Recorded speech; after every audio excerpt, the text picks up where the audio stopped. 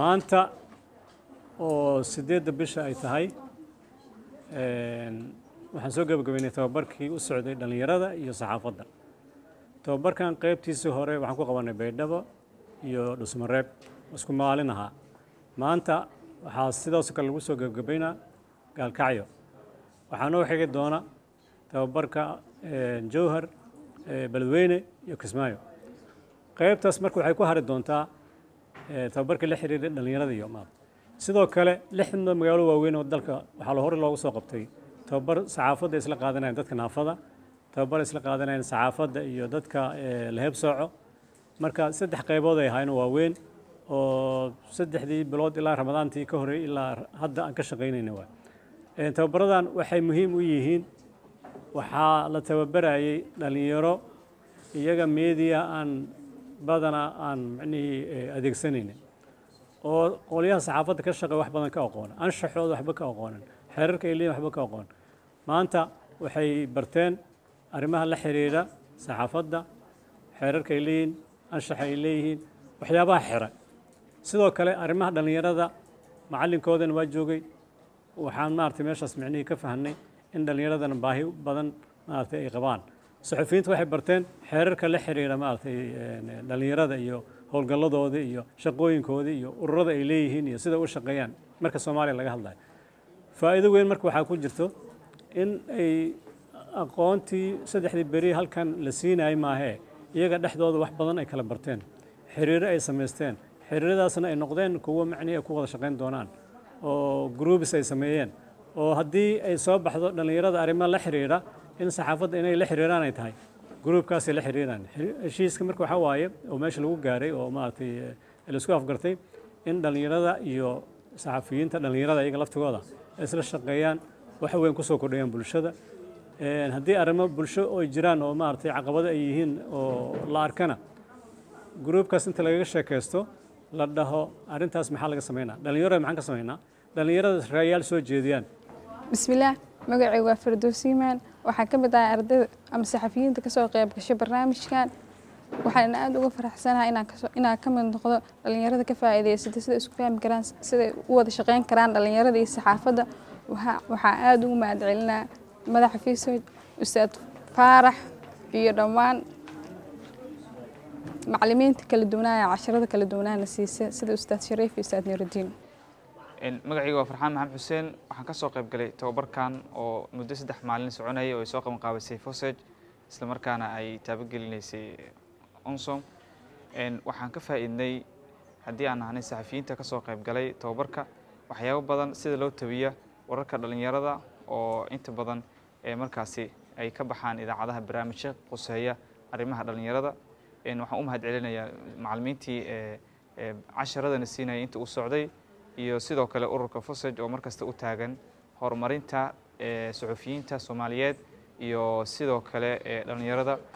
Sidoo kale waxaan barnaamijkan dhallinyarada aan ku faa'iidnay sida markaasi loo tabiyo wararka dhallinyarada ah in laga qayb qaato horumarkooda iyo sidoo kale sidii dhallinyarada soomaaliyeed ay u sameyn lahaayeen isbeddel dhanka arrimaha horumarada iyo waxbarashada.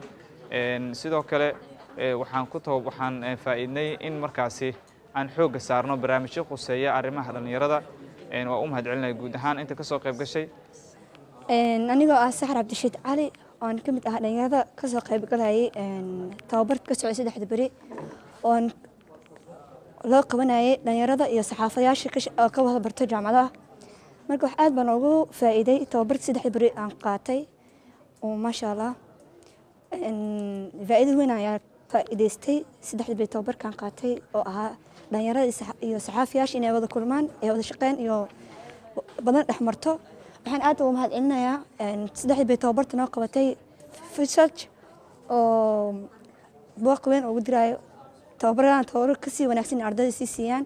Maxaa yeele ani dhalinyarada caadiga magaalada wax ka barata ah saxaafadii waxaas wax kama aqoon laakiin haddaa si fiican u bartay saxaafadii waxay tahay. Maayo? Wayba leeray maxamed wardheere ee wayba ku socda telefishinka raadiyaga arlaadi wayba saddex maalmood markaasi nin socday ee seminaarlaka baradaya salin tabiyow ee armo la xiriira dhalinyarada keliya armo la xiriira dhalinyarada lameka barana way kale ka baranaya qaabka arday tiirarka wararka oo kale qaabka liintabia ee wararka xasarado ama goobo ku jiraan conflict ama khilaafka oo kale iyo ka baran training intuu socday. Waybaa ku faa'iidnay qaabka lanka wariyaaga ee leenku baahanya markuusa waran socda masayna warka lagu fado intuu saatabi waddooyinka ama sanhayna meel isu an raxafadi waan fuday lahayd intii warkaasi usa ku tabi wayba sidoo kale una ka baranay ee training intuu socday anshaxagal leenku baahanya lanka saxafiga intuusa mara oyo kumada intuusa runto sheega wala aamino kore sheega waan markaasi ku madaxa banaanada qabyaalada war markaasi nin baahnayn fasaj ciidanka mahadnagaana ee qaabka markaasi handiyaari seminaarku waana suxufiyiin badanna ku faa'iidaysadan anu markaasi hadda rajeeyahayna goobo kale ee tv-ga xarumahuna ka howlgalaan markuusan nagana. Dadka kale trainingkan u qeyb qaadana oo xarumagasi ka sugan oo nasiibka nin helna. Ku faa'iidayday doon wala un arday seminaarka una ka baranay. Fasaj eed ciidanka mahadnagaana sada qiimaga le iyo sidii seminaar wal ku bedeli korna. Qaabka tebinta wararka haddee nagata sida markaasi lahantabiyow arrimo la xiriira dhallinyarada yaa eedan fahmi marka wayba ere korne waa seminaar saddex maalmooda socday laakiin wayba ninka dhakanta wal saddex balood walku badan nin socday siduu nagu faa'iidnay fasaj iyo nay hay'ado kalaha qaban qaabin eedanka mahadnagaan eedan mahadsantiin dadaal badan ayay gelisay. Dadaalka ay gelinayso waxa weeye in idinka aada u noqotaan xoog iyo af wanaaga ummadda soomaaliyeed iyo dowlad wanaag. Baddaa aragtay intaa aragta leeg meeshiina rabi inaan kalluumaysan lahayn kalluumaysan lahayn kalluunkia dadaysan lahayn badda qatarkii waxaa la rabaa marka in la doodo la isqanciyo aqoonta waa fura waxaa la rabaa adiga ra'yigaaga aniga inaa tixgeliyo anigana ra'yigayga tixgeliso. Waa sunnat allah wey ay tababarka wax ka bixinayaan waxa weeye waa arrin si weyn looga shaqeeyo wey in aad is ogolaataan waxbarashada iyo aqoonta iyo shucladda iftiinka inaad taageero noqotaan. Warbaahinta dadka ka shaqaynaya iyagana rayigaas intay qaataan micnihii angalle kale ka galaan oo maaragtay sidii bulshada wax loogu daaweyn lahaa. Marka annagaa rabna inaan wax daaweyne bulshada dhallinyarada iyaan micnihii laga dhiganin kuwo liita. Kuwii xoogga lahaa iyaga ah iyagaa ka shaqaynaya marka sidaasoo kale dadkii naafada ahaa iyagana gurubis gurubisa loo sameeyey saxaafaddii dadka isla qaateen iyagana waa wada shaqeeyaan. Dadaa hadda nala soo xiriira dadaa whatsappkooda nool oo maaragtay ka wada shaqeeya marka waxaan rajaynaynaa saddexda maalmooda wixii inta lagu bartay inaan barkinta hoostooda buug talagelin notebooga dib loo eego lala socdo. Fasaj ahaan waxaan taageeraynaa cid kasta oo dhallinyarada ka mid ah oo follow up ku samaysa twitterkeenna facebookkeenna webkeenna soo booqata.